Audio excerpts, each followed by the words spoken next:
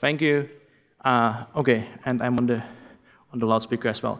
So welcome to the last. No, there's one more after me, right? There's a keynote coming. So uh, it's 4 p.m. It's probably your heads are exploding with all the information today. So I will not help you with that, or I will help with exploding your heads. Uh, my name is Marek. I work uh, at Red Hat in the OpenShift team, and I will tell you something about uh, Docker, about containers, about OpenShift, Kubernetes, and we will do some walkthrough uh, what you may want to do and what you don't, may not want to do uh, with containers and other technologies. So I just need some information. That's why I asked to lower the lights, but I will move a bit here. Uh, who is an engineer like developers? That's the guys who build cool stuff. Okay, nice. How many operations are the guys who run the cool stuff? And how many managers? Those are the guys who slow down the other two groups. okay, almost no one. Good. So I have some basic ideas. So I'm speaking mostly to engineers and developers. So that's cool because it's mostly about developer experience and how to do, uh, how to work with that. Uh, so first, I will define a small problem that I found out recently. And I have been speaking to some of our customers, and I found out that they have a problem with very basic and very trivial stuff that has been here for years. First, inconsistent environments. That means it worked on my machine. It should work in production as well, right? But everybody knows that problem, and even though we are in the year 2017, right, 2017, uh, there are still companies struggling with this problem. So that's one of the things that we could tackle with containers. Uh, the other one is deployments done over SFTPS, depends on what you're trying to use, or just directly Git pulling and uh, checkouting stuff. That's, Git is better than SFTPs, but still it's a, a lot of uh, manual work that is error prone and could be problematic. And uh, manual integrations are required to do, uh, to do deployments. Like I have to SSH into the machine, do git pull, do check out some specific commit, or something like that. So this is some of the problems that I have seen in the wild. Like uh, people are struggling with those. And in my talk, I would love to uh, somehow tackle these problems and show you that there might be a solution uh, that could help with those. So as you might expect, uh, based on my, based on the, the, the number, name of the talk and what was on the slides, we are going to speak about containers. And containers pr pretty much uh, are the biggest buzzword of today. Everybody speaks about them. Who heard about containers already? Who heard about containers two years ago? Yeah, almost no one. uh, it's like a technology that just came and it took the IT world uh, like a bomb and everybody now wants to do containers, even though pretty much no one knows what they want to do, and it's a, quite a mess. But everybody likes them. So what is a container? Just basic, uh, basic information to get us started. So uh, on the left side, I have a container image, and on the right side, there is a virtual machine. So if you check the layers that are, that are on, the, on the picture, the virtual machine has more layers. That means uh, there is more stuff has to, be, has to run uh, to actually make something run, uh, something usable. So if you uh, want to use containers, it's much more lightweight because you don't have to virtualize the whole operating system. When you are in the virtualization land, you are making a virtual hardware and running uh, the operating system on it in a virtual machine, right? If you are in a container, you are virtualizing parts of the operating system, and then you are running application in that small part of the operating system. So it's much more lightweight, uh, but there is one, one downside to that. You have only one kernel. So you cannot run Windows applications on Linux, and you cannot run Linux applications on Windows because there has to be there is one kernel shared between all these containers. So that's just basic information to get us started. So what containers do, or what they are supposed to do, um, containers ship software. So they allow you to package something, it's a unit of packaging, and you can take it, you can send it to somebody, somebody can download it, uh, and spin up the application that's in that container. That, uh, that container should be self-contained, so it's pretty much the whole userland that the application needs for running, except the kernel, because the kernel is shared. And containers are supposed to be universal, uh, which has not been super true until recently. There is Open Container Initiative and some other standardization processes. So there is uh, work to being done to actually make containers built on one technology runnable using some other technology. And when we understand what containers are supposed to do for us, we can speak about Docker. Who have heard about Docker? Yeah, most of you. So Docker is pretty much the most famous technology for containers right now. And when somebody says, I want to run containers, they usually think about running Docker containers. There are some other implementations, like Rocket, there are FreeBSD jails, uh, Sun zones. Chroot is actually a container technology. It didn't allow like proper security constraints, it didn't allow resource, uh, resource isolation, but it was a container technology by itself. Very simple, but it was. So Docker is the container technology of today. Most people like it, most people want to work with it. So what Docker does is, on one side, it defines a, a packaging format. So it says, okay, if you want to package a container, it will be this kind of uh, tar.gz, it will be this meta information saved somewhere in this specific format, and this is described as a Docker container. This uh, description is actually being standardized as uh, the Open Container Initiative. So the the standard is not something artificial created just uh, to somehow uh, describe any container. It is actually getting Docker and their specification and make it a standard so that other tools can use it as well. Uh, Docker is also a tool that allows you to build containers, uh, share them, and uh, get them.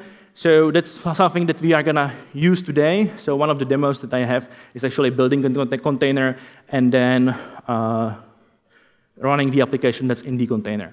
But also, Docker Hub is a marketplace, so it's a place where you can share containers. So if you build a container, you can uh, take the container, push it into the Docker Hub, and somebody can discover it and pull it to his machine and spin it up. So it's a way how to distribute software as well. Yeah, OK, so uh, I'm already at my demo stage. Uh, so I will move over to uh, Atom. So I have some source code prepared here. I have a really, a really complex PHP application prepared for you. It's one file. I will make it bigger so you can read it actually. so because it's so complex, so you need, uh, it has to be big so you can understand all the code that's there. But it actually makes everything simpler because the way how you package a complex application is very much similar how you, how you would package this small application. So if you try to package something, uh, something bigger, it may more, more, uh, take more time to actually take the time and uh, make it happen. But with a small application, it will be quick and easy, and the process is, pretty, is going to be very much the same. So if you do want to uh, package application uh, with a Docker container, what you have to do is to write a Docker file. And I apologize for my weird uh, moving of my mouse because my trackpad and my keyboard died on, on the laptop. So I bought myself a, a, wireless keyboard yesterday. So I'm using a keyboard and a mouse because the, the laptop is not really functioning. So if you see weird movements, it's, uh, it's OK. So what, does, what this does is, OK, let's, let's build a container. Uh, that means the, from PHP, uh, because what Docker is, uh, has designed is hierarchy of different layers of containers. And you can say from PHP, and then there is a version, and it says, take the PHP container that's already on Docker Hub, and this Docker container will be the base, and then all the other commands that will be below it will take this base image and somehow extend it, right? So somebody had done all the hard work for us to already build the, or like install Apache, configure Apache, install PHP, link these things together. That has already been done. So from PHP just uh, gives me 7.1 uh, PHP and Apache running in the container. What all I have to do is take my source code and copy, copy it into that var uh, www.html uh, directory. And then uh, when the container is committed, I will get something that I can distribute, I can run, my application is there, runnable. So how, how do I build a container? Uh, it's a very simple command. Um, so uh, docker build dash t says name the container php uk and take uh, the docker file in the current directory as the source, right? So uh, I'm going to copy paste this into my console and we are going to build a container. So first, what we are doing is, oh, let me make it slightly bigger. Can you read it? Hands up, can you read it? No, not in the back, so. Now, yeah, cool. Uh, so what we said, uh, Docker built a container using this Docker file. So from PHP, it uh, used the container with, with each SHA was uh, this, uh, this number. So I, because I already did uh, the time-consuming part of downloading all the layers on my machine, so it is using the, the, layers from my cache on my machine, so it was pretty fast. And the next step, which was second and last, was take the source code in the SRH directory and put it into the container. So my container was built, uh, and the only thing that I now got to do is to start something, right? So I, when I want to run a container, I do docker run uh, dash t dash i, so I want to have I want to have stdi connected with the container and my shell, and I want a TTY for that, uh, for that container. And dash p says that uh, a port 8080 on my machine will be mapped to an 80, 80 port in the container. And PHP UK is the name of the container which we named in the previous step.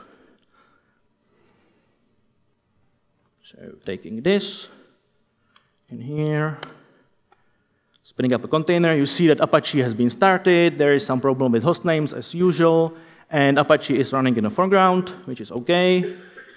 Uh, let's go back here localhost and 8080. Ooh, 8080.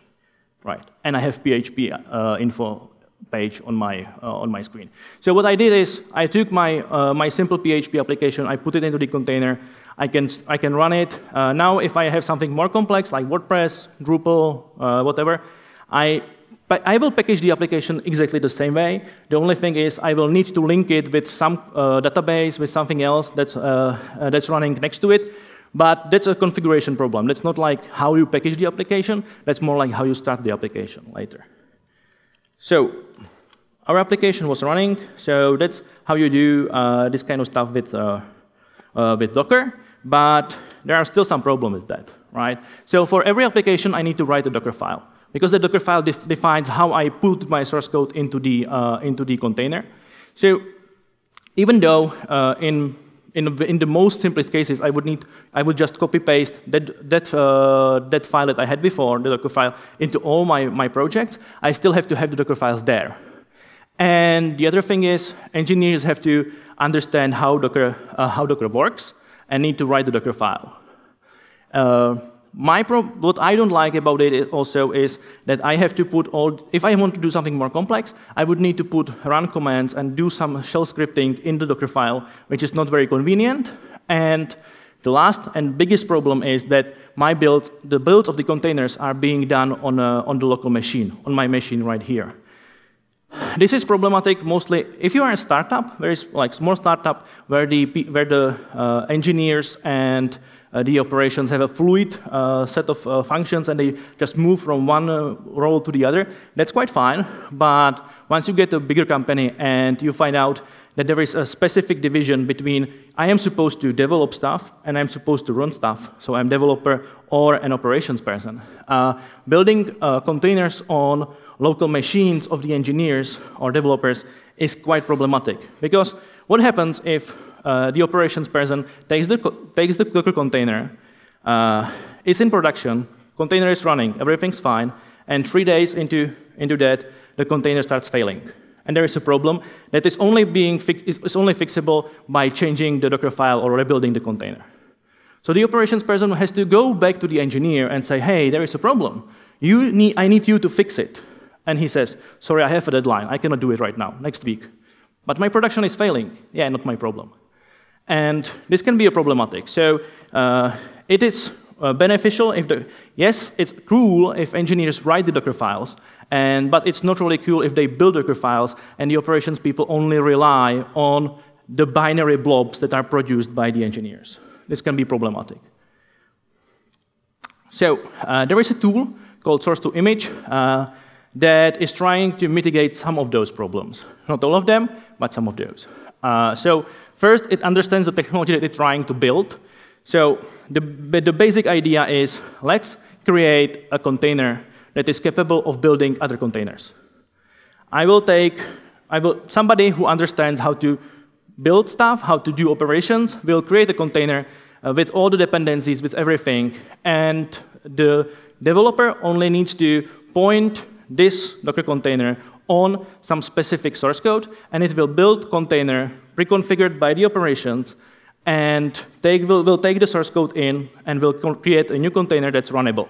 Pretty much what we did in the previous one, but without doing the Dockerfile stuff. Uh, and yeah, that's pretty much what I have in my bullet points. So let's move to small demo. Uh, back to back here. So S2I. Now my application is still very complex, still extremely complex application.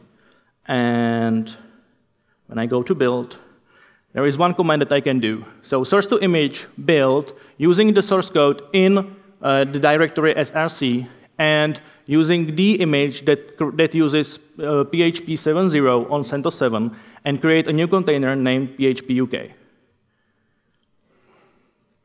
Well, let's do something first. Docker RMI PHP UK. Uh, so I have, I have cleaned the, uh, the container that we created in the first step, so you will trust me that I actually built a new container.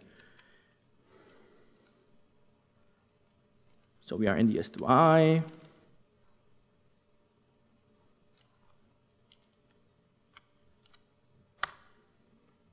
So I already have the, the CentOS PHP 7.0 CentOS 7 cached, so there was nothing to download, it was quite fast. So only thing I need to do is install the application source, because I, do, I have no composer file, I am not pulling any dependencies or anything like that, it, it's just putting the source code there. Exactly as we did in the previous, uh, in the previous uh, example. So when I move back to uh, start, I will spin it up. Do you see the difference between this, com this command and the one that we had in the previous example? The port, yeah. So that's also one of the problems that uh, some of the Docker containers have, mostly those that are in Docker Hub. Uh, when you spin, when, when we built the previous one, uh, the effective user running in the container was root. And I will ask those uh, operations people who I have in the audience who would run your application as root on your machine in production. Okay, no hands. Uh, so uh, what we do is we actually, whenever we uh, package a container and using the S2I tool, uh, we don't run the container as root. You don't have to be root to actually run the container. So you cannot bind to port 80 as it was possible in the previous container, uh, but it's bound to 8080 because it is running as some specific user. So that's one of the, one of the security implications that uh, S2I also brings to you. Okay, spin it up. Pretty much the same output as in the previous case.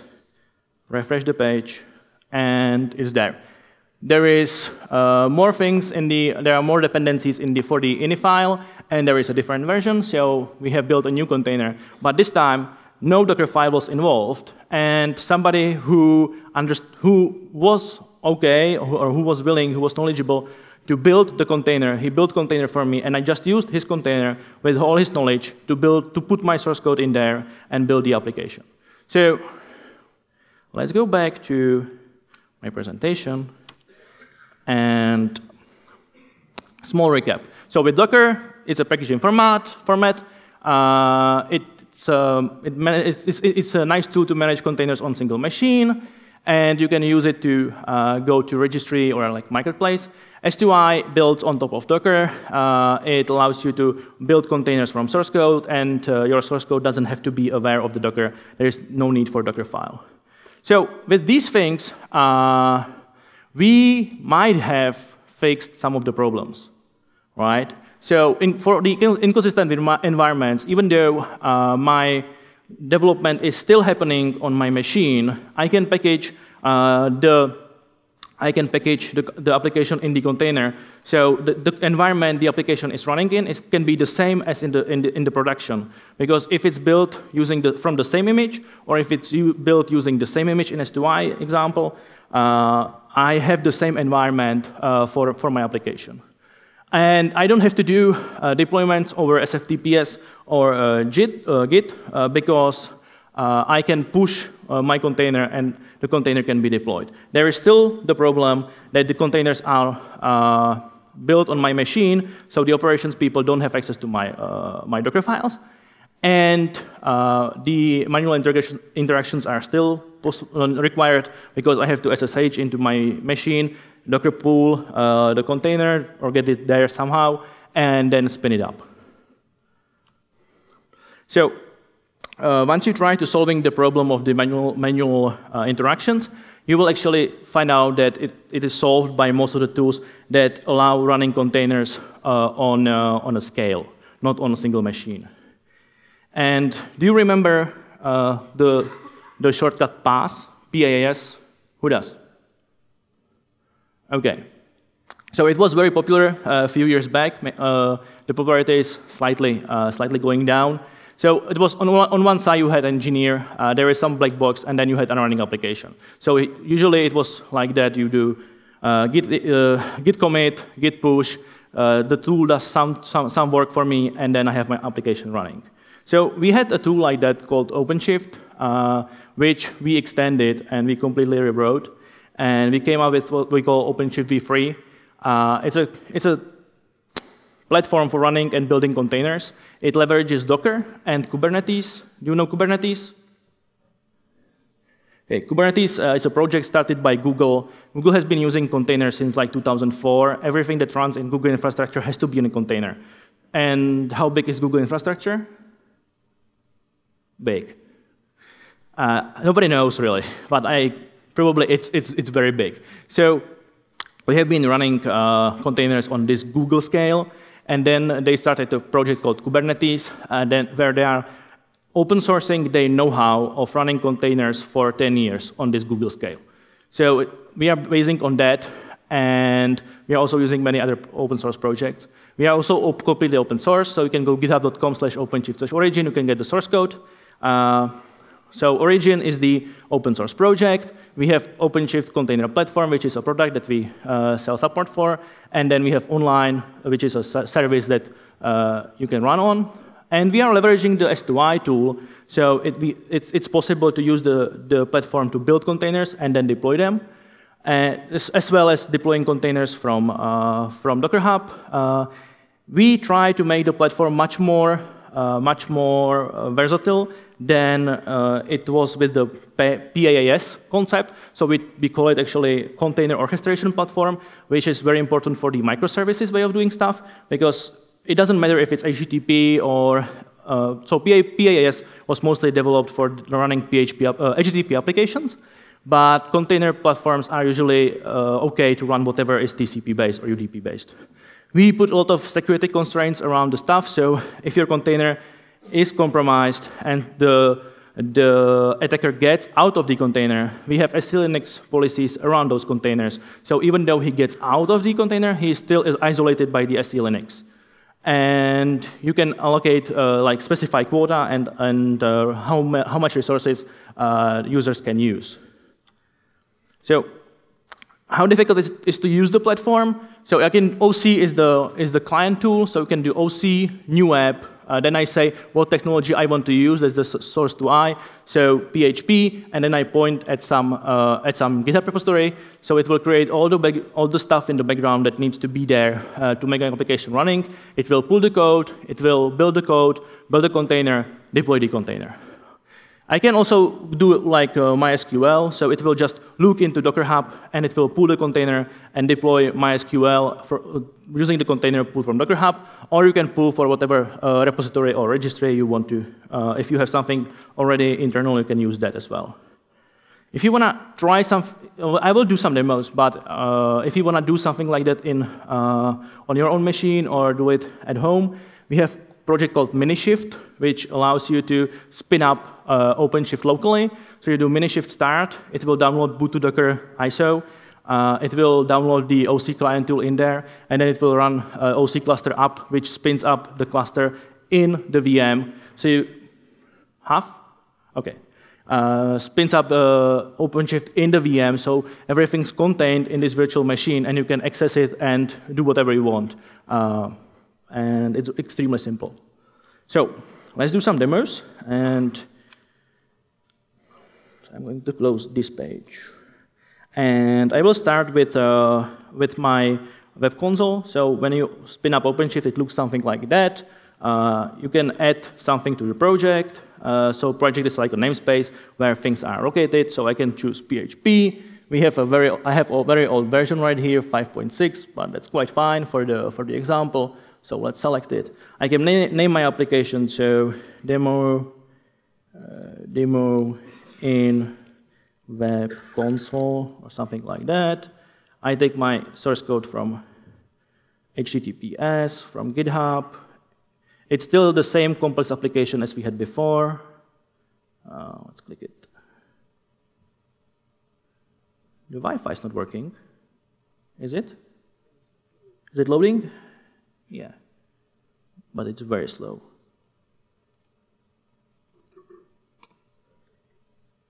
Hmm. Well, let's hope it will work here.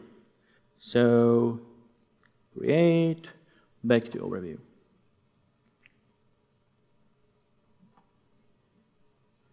So what happened is there is no deployment yet. Uh, it's not very readable on the screen.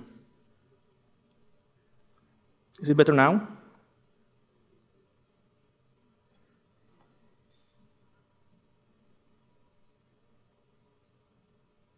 What?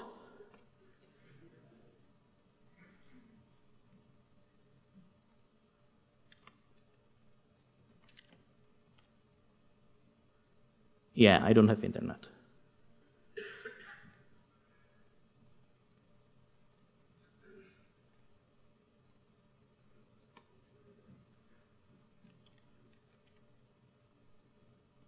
Okay, now I have internet. So, okay, my build failed. So there was a build. So it was trying to clone my repository and uh, the build failed. So that can happen. So I just, I can start the build again. So new build is running, can see the log. So yeah, so right now I have pulled the source code. I am I was installing the, uh, the application source into the uh, into the container. So that was the same step as uh, I did before. And then I am pushing into the uh, local registry. So when I get back to my overview page, you can see that I have one container running already. My application is available on this DNS. Yeah, so it's older, older PHP, but pretty much the same workflow would be for 7.1, 7.0, or whatever. And I can check my, my container running somewhere here. So I can see the logs. So this is the same logs as I saw before. And I can go to terminal. I can see that my application is running, right? So I didn't have to do anything on my laptop. What I, what I would have to do with this workflow is uh, work, on my, work on my things, and when I'm ready, git commit, git push to some git, GitHub repo or GitLab repo or whatever I'm using in your, in your company. And you can, you can configure webhooks to actually trigger uh, the build in the platform. So whenever you git push, uh, the, the container is going to be built and is going to be deployed. So the engineer who is working on something, he doesn't have to at all understand how Docker works, how container works. For him, it's like add to project, select, select the PHP version, this is my source code, configure my GitHub with the webhooks, and whenever I git push, I will see the current version of my application running in the platform. So that's one of the ways. So that's okay, but not everybody wants to uh, push into Git repos. Not everybody wants to use uh, use GitHub or GitLab.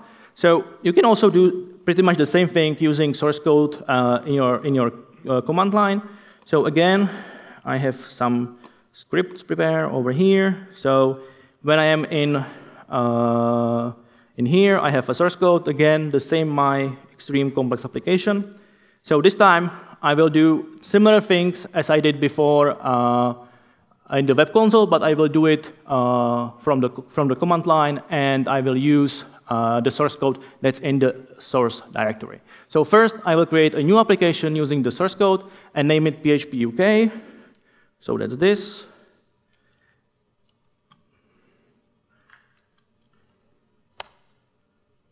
And when I switch back to my web console, see it very nicely, you see that uh, my, fail, my, my build failed right now. That's expected, but I created all the uh, things required around it to actually make it happen.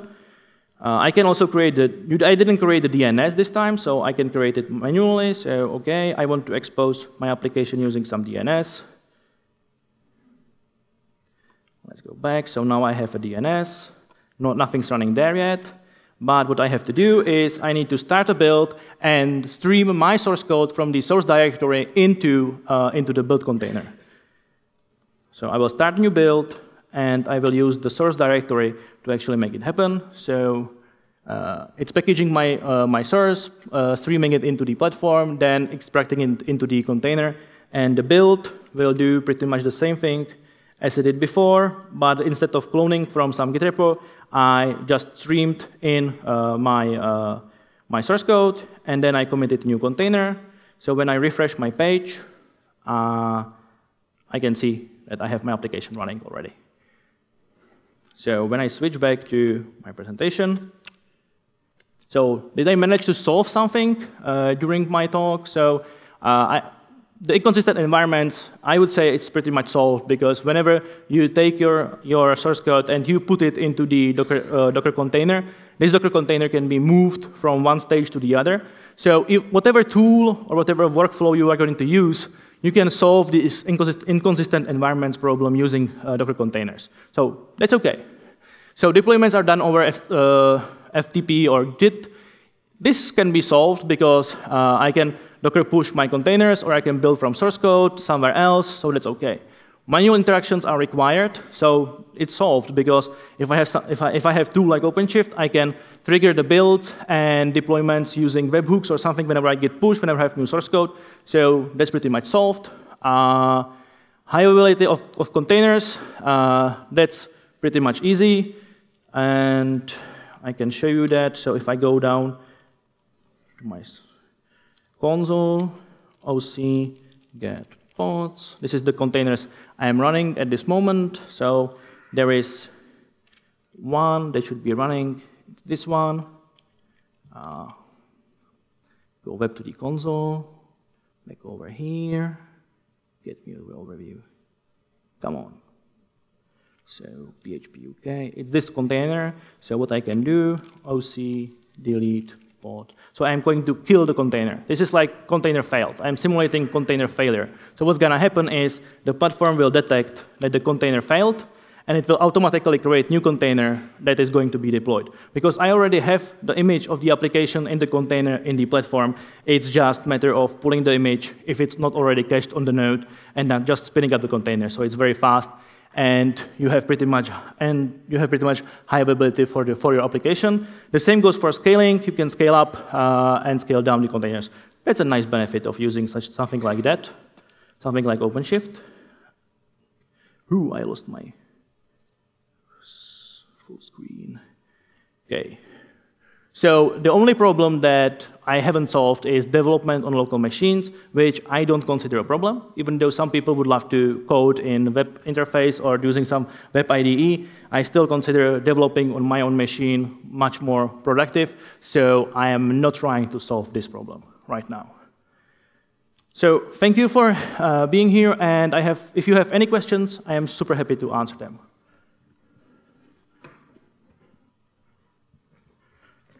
And I will just move out of the light so I see uh, on the person who is going to ask. No questions? Okay.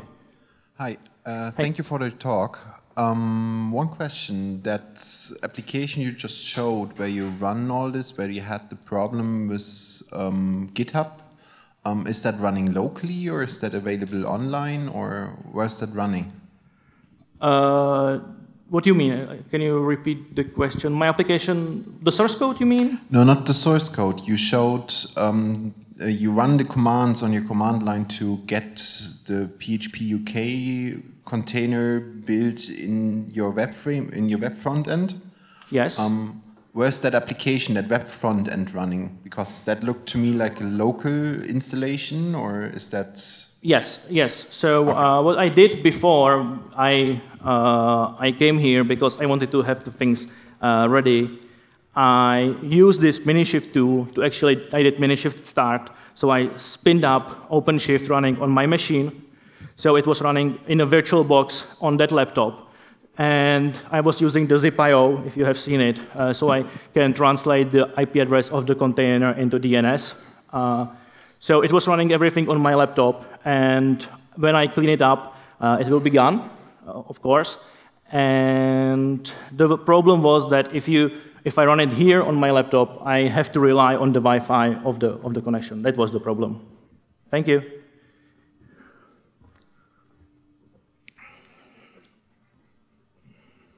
Hi, great talk. Um, Thank you. I've never seen S2I before. It looks really interesting. How can you handle parameterization or configuration um, through S2I? Because we saw you loading source code mm -hmm. for an application into the container with that tool. Um, what about loading configuration for your application or for your environment, and stuff like that? Uh, you mean build time configuration or runtime configuration? Either, both. So there are two, like uh, S2I is only trying to solve the build time uh, problem, right? So S2I itself can take environment variables, can take some properties file that define some information that's being then pushed into the container. You can also map a specific directory from your machine into the container, so you can read something from well-known path or something like that. Uh, or I would probably say that the easiest one is to set some environment variables and like build, uh, change the build based on that. Uh, the container that is doing the build is essentially simple Docker container that you install all the dependencies in, and you create generally two scripts. Assemble, that's the build process, and run, which is the uh, how to start the application. And this is, this is going to be the entry point of the container that's being committed after the build, right? Uh, so for the build process, this is that. Uh, for uh, the runtime configuration, it depends on where you're going to run. If you're going to run in something like OpenShift, you can use environment variables. We have config maps, which allows you to mount a, a file into the container. Uh, you can have secrets, which is encrypted information. Well, there are several ways. Uh, if you're going to run like Docker, just Docker, uh, environment variables, and in the latest release, they have some kind of secrets or something like that. So it depends on what technology you want to use. Uh, but first, source to I, uh, generally, either environment variables or mounting some configuration directory into the container.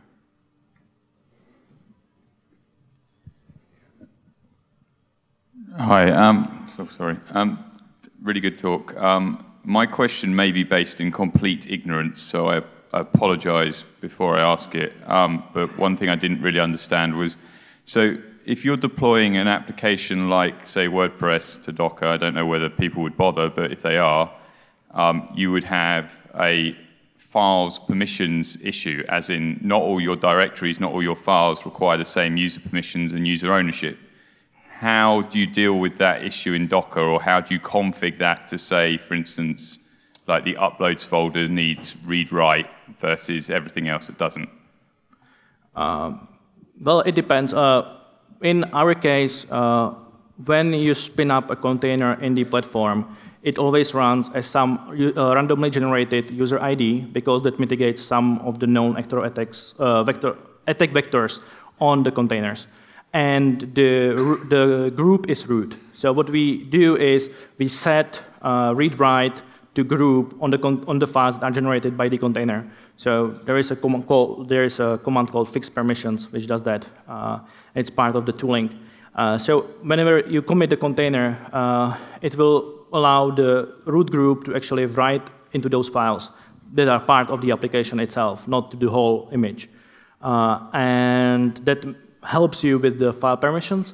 But there is more, uh, well, depends on what you want to do. Like if you're running WordPress or Drupal, those uh, tools usually like to write to file system. So if you are in a container, if you are trying to do something that's more scalable, you need a scalable file system as well. So uh, that's, again, one of the features that we have is you, it allows you to uh, mount dynamically some uh, uh, either distributed file system or normal file system into the container. So when your container restarts, the data is still there. And so, because by default, containers are ephemeral. When you, when you go into the con running container, you change something, uh, and then you stop the container, all this data is lost, generally. That's how you should approach containers. Uh, you have time? I, I was just going to suggest, um, does it support, does your tool support UID mapping? Sorry? UID mapping?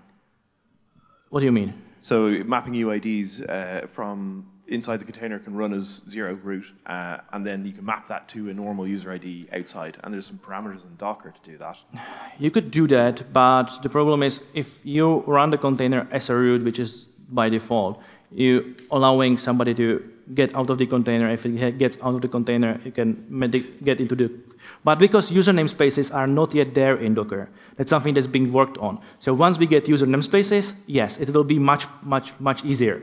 But we are getting into technical details, which are probably too weird. Uh, so if you let's discuss this after the after the talk, so I, I can still handle some few more questions. Will it be okay? 15 minutes. Yeah. But I saw like five hands, so.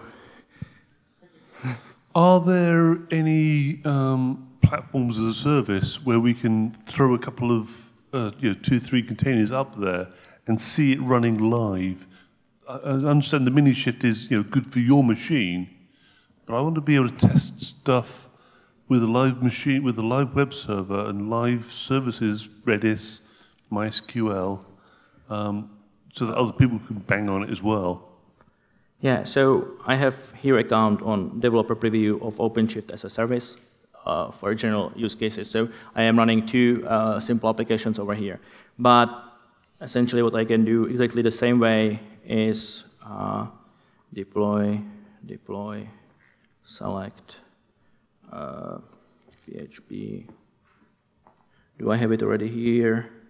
No. Take this, yes, please go, go, create, continue to overview. So right now I am, what did I do? Why is my build not happening? Builds, builds, PHP, there are no builds, interesting, start build, builds happening. Okay, so right now I am using uh, OpenShift as a service. Uh, that's on, if you go to OpenShift.com, you can sign up for the service. Uh, it's a developer preview, so it's the account right now lasts uh, for one month, but we will be extending it hopefully very soon. And uh, you can do pretty much exactly the same what I did on my machine. You can do there. Uh, OpenShift itself can run on any infrastructure. So if you spin it up on GCE, on AWS, your own bare metal, you can do it. Uh, it's open source, so if you are okay to running it yourself, uh, you can do it yourself. Uh, if you want us to help you with that, there is a product that we are, where we uh, help you as a support. So there are different ways how to do it.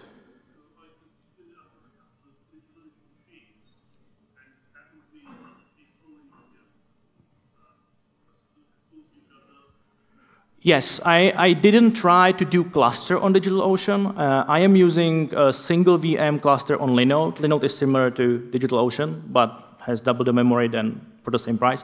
Uh, but technically it's the same. Uh, so the, the, the, small problem is that uh, I am not sure what's their network configuration. So because for every single project, we create a virtual network that isolates the communication inside that project. So different projects cannot see each other's communication, which is one of the security aspects. And I'm not sure what will, what's going to happen if you put this on the DigitalOcean uh, private networks. It may not work. I'm not sure. But definitely what will work is, and one of my colleagues is doing it on DigitalOcean, and I am doing it on, uh, on the Linode spin up one node cluster. That works direct, just fine. It works fine on GCE as a cluster, on AWS and Azure. That's tested as a cluster, multi-machine. I couldn't hear right now, so can you repeat it? That, that doesn't get you a, half a dozen you know, containers across a that you need to run across more than one machine. Yeah, if you if you want to get high availability, you need to have it on multiple machines. Uh, yeah, and not just high availability, but you know more than one machine could handle. Yeah, so yeah, but you still can scale up. Uh, if you cannot scale horizontally, you can scale vertically on DigitalOcean, right? It's not the best approach, but still solves problem for if you don't have resources to run something like GCE or AWS. Yeah. Uh,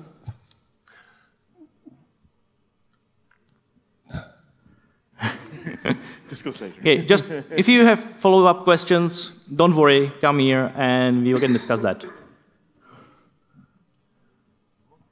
Okay, so the build finished, uh, and the application should be running if my internet is going to work this time.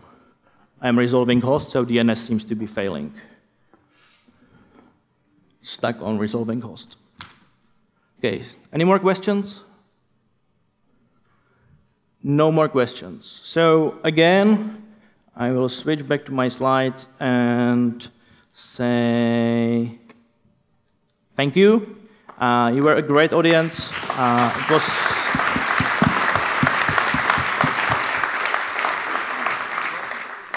And I have books here. So this is OpenShift for Developers book. Uh, it walks you through deploying applications, spinning up OpenShift on your own machine as well. Uh, this time not, not using Minishift, but using Vagrant. Uh, if you are interested, they are here. If I run out of them, I still have a box down, so there is still more uh, books. So come here and take one if you want.